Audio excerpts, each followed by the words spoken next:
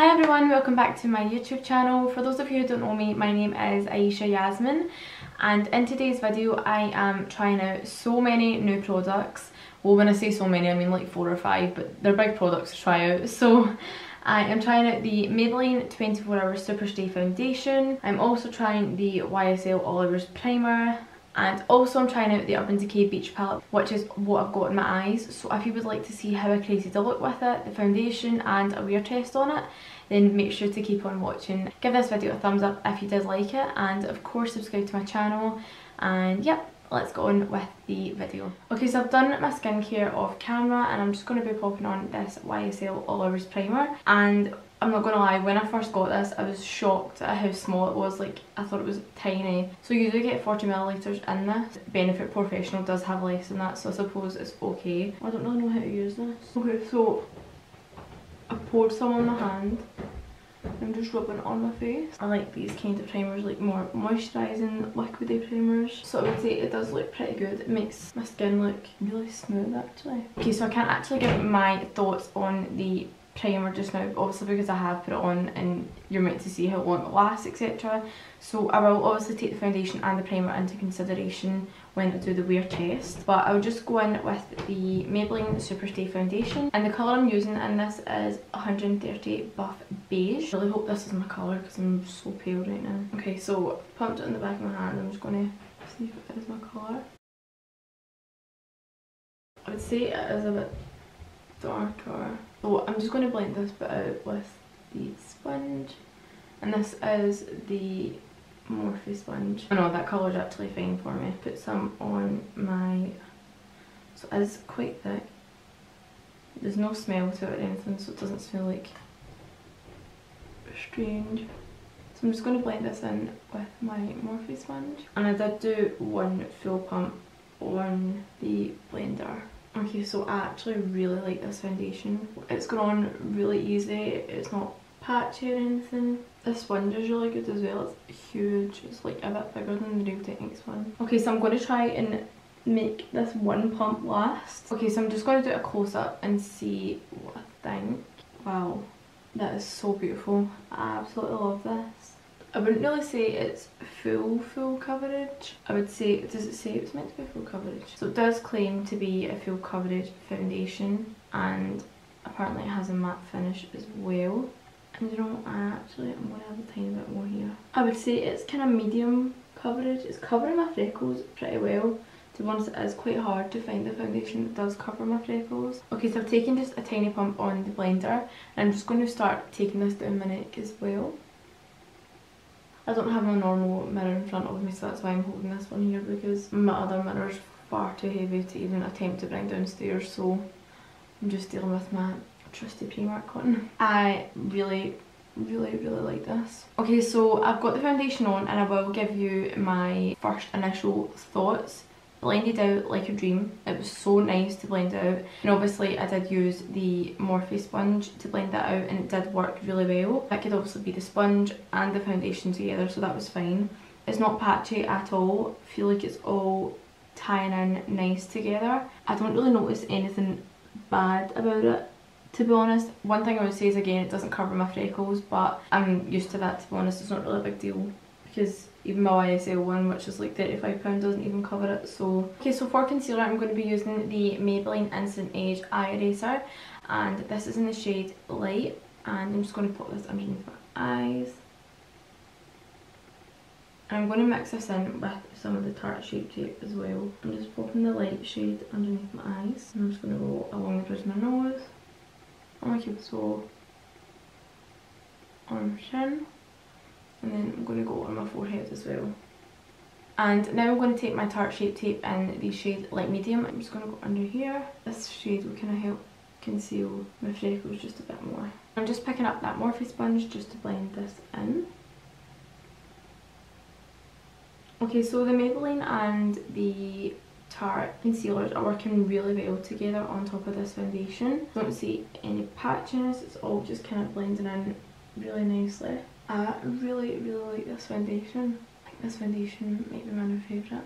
So now that I've tried the concealer on top of the foundation, I would say everything is looking amazing so far. I'm going to just go ahead and jump off camera because you've seen my face routine about 50 times. So I'm going to go and jump off camera quickly and finish off my face and then we'll come back and dive into the beach palette. I have finished my face. I just need to do highlighter but I'll do that towards the end. Now we're going to start eyes. So I have already primed my eyes with the Urban Decay primer potion and this is the Eden one and now it's time. I'm so, oh, I'm so excited for this. This is like an Urban Decay eyeshadow palette that I've been excited for the most. Like definitely, probably one of the most exciting ones. I've not opened this yet, so I'm to open it just now. Okay, so this is the palette here. It does have a nice big mirror and you can fold it at the back as well, which is really nice. I'm going to quickly swatch all the shades on my forearm and I will be right back. Okay, so in the picture I have swatched all the shades. Um, I do just want to say that I did notice that the shade 16 Street it did actually have a different texture to the rest of the shimmers. It was a bit more chunky. Um, so for anyone who isn't into chunky glitters, then that is a bit more chunky and a bit more messy in comparison to the blue shades, etc. So that is one difference I did notice. One thing that you should be aware of is that there is only one matte shade in the palette, and that is Daybreak. The rest of them are all shimmers, so if you're not a big shimmer fan, then maybe this palette might not be for you. But obviously because this is a summer palette then it's expected to have more shimmers than mattes so I would obviously just take that into consideration if you're looking to buy the palette. Okay, so I'm going to start off with the only matte shade in the palette, the shade Daybreak, and I'm using the Zoeva 228 brush, and I'm going to start building this up in the crease. Okay, so I'm just kind of brushing this out.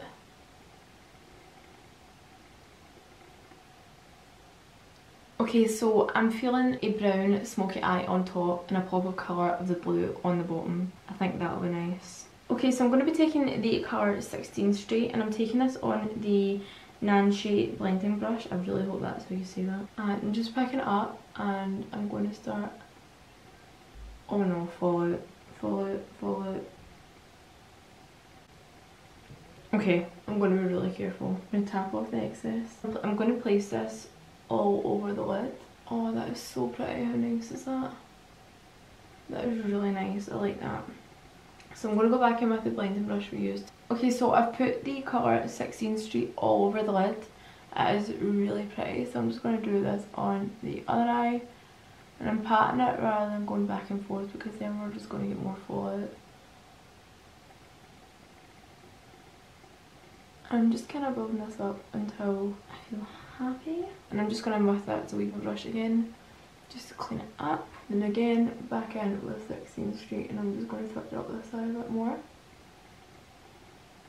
I feel like this is the perfect like summer makeup. I absolutely love this. I'm going to pick up the colour Wedge and this is this darker brown here at the bottom and I'm just going to use that same Nanshy brush.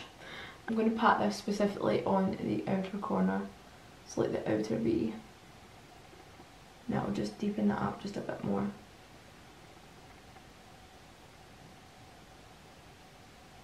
Okay, so I'm just blending this out here, just so it doesn't look too harsh. And back in again with Wedge on outer V. I'm just going to start blending that out.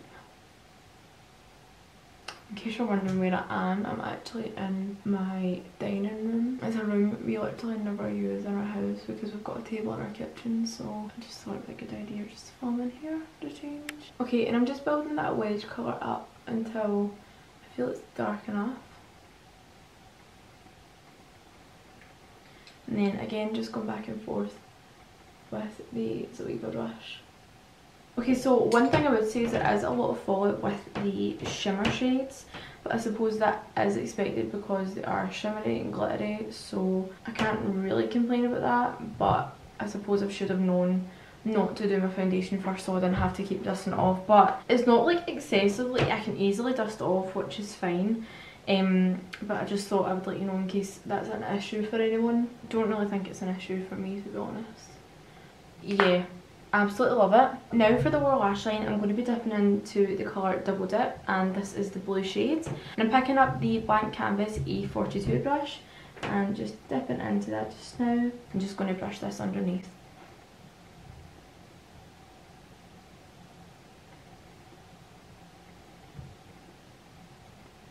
And I'm going in with a really light hand because obviously I don't want this to fall down my face. So I'm just kind of picking up tiny bits at a time, going back and forth. Okay, and at the side of where the blue will meet the brown shadow, I'm kind of cleaning off my brush and then just kind of dragging it up just so it's got that gradient effect just so it doesn't look like a blue block. so I have done that now on that eye. I think it looks so pretty so I'm just going to keep building it up. And I'm just going to do the same on the other eye as well. And once you've got your mascara and stuff on there it will look a lot better. Um, it just looks a bit crazy now because I've not got anything like that on. And now what I'm going to be doing is I'm going to be taking the shade Blaze and popping this in my inner corner and my brow bone. I'll just pop this in just now. I'm going to actually add a bit of salt into that as well, that's the top shade, into the middle just so it brightens the eyes just a bit more. And then I'm going to pick up Blaze for my brow bone. So I did actually do my brows off camera but if you do want to see how I do my brows then there is a video on that. I think I've done it about two or three videos ago. Okay so I would definitely say it's all tying together now. It's really giving me summer vibes. I'm loving it. This is one of the palettes that I'm definitely going to be taking on holiday with me. I would actually say that colour Blaze, that does have some pink reflex in it. Okay, so I've picked up just a tiny bit of my concealer and I'm going to be using this just to go at the sides of my eye just to kind of sharpen everything up a bit that is looking beautiful i feel like because i've sharpened it it does give you a kind of blue liner effect on one side okay so now that we've finished eyes i'm just going to start prepping for mascara. So i'm going to be taking my eyelash curlers and just curling my eyelashes. The mascara i'm going to be using is my benefit roller lash and i'm just going to be popping that on. I was wondering if I could just skip lashes because it's like a summer look but I think it will just look so much prettier with lashes. So I'll start prepping for lashes once this is drying and I'll do some highlighter and then we'll put the lashes on. For highlighter I'm going to be using the Morphe and Bretman Rock highlighter palette and I think I'm going to go in with the shade Get Laid. I think I'm going to go in with this one. I'm just going to start highlighting with my nose first of all. I'm just highlighting my cupid's bow at the moment, making sure that it's super shiny. I went and bought one of the like open razors for your eyebrows the other day because I think I'm just going to start doing my own eyebrows again. But I'd like done my forehead. It's literally like dermaplaning your full face yourself. That is literally what it's like um, and I've done my forehead and I swear it feels amazing and I've done like my upper lip as well and everything is going on so smooth like on my forehead area. I think I'm actually just going to shave my full face to be honest because well not shave, dermaplane my full face myself because it's like £40, £35 anywhere else and I can literally do it at home with a pack of razors of six that I got for 3 99 I think I might just start doing it myself. If you want a video on how I started shaving like my forehead etc and um, my upper lip and obviously I'll do my full face as well then let me know and I will do a video for that. And I'm picking up the Morphe Y14 brush dipping into Get Laid and then just going to start highlighting my cheekbones I love this highlighter so much and I'm just going on my cheekbones above my eyebrow also you need to let me know if you prefer me filming in my dining room I feel like I can talk to you more I feel like it's more like tutorial seeming than just a wee girl doing her makeup in her bedroom. okay, so that's me done my highlighter. I just realised I've done all of that and I've not even put glue in my lashes. And the lashes I'm going to be using are these ones here and they are in the style Opulence. I have worn them once before so I'm just going to rewear them. Okay so I've just popped glue on my lashes and I'm just giving them a quick wiggle and the lash glue that I had used is the Unicorn Lashes glue. While I'm waiting on the lashes drying I'm just going to start doing my lips just really quickly and I'm going to be using the Rimmel 100 Kisses liner in the shade Risk. And for lipstick I'm going to be using MAC Yash I'm going to be using the Anastasia lip gloss in the shade Undressed. I've never used this before so I'm really excited. I do have one of the liquid lipsticks and it is my favourite liquid lipstick of all time so I'm excited to use this. And I'm just going to put this on. This lip gloss is stunning. It's such a nice nude shade as well, like it's absolutely beautiful. Love, love. And for lashes I'm going to be popping them on with the Tarteist Lash Applicator. So with my lashes I'm just going to apply them straight on top of my natural lashes. Okay, and that is the second lash on. Okay, so that is me finished for today's tutorial. So once I'd finished my eyelashes, I did actually quickly go and do some eyeliner in my waterline and I did use the Urban Decay 24-7 Glide On Eye Pencil in the shade Radium and this is like a kind of blue colour which really goes well with the blue shadow that we had used in the lower lash line as well. Also I did do some bottom mascara as well and set it with Morphe setting spray so that is literally me done just now. But what I'm going to do is I'm going to quickly pop off to work and then I will be back, do a wear test and I'll just check in every hour or so after so I'm working for three hours tonight so I'll be back in three hours so I will see you soon. Hi okay so I'm just really quickly checking in on my foundation. I've actually not looked at it let me see. Looks still amazing. It's literally been on for exactly three hours. I still look really good. One thing I would say is there's a bit of cracking going on here at my smile lines if you can see. Like round about here. Mm -hmm. when I smile there's a bit of cracking I think that could easily be fixed. I'll go over a powder brush and see if it changes anything.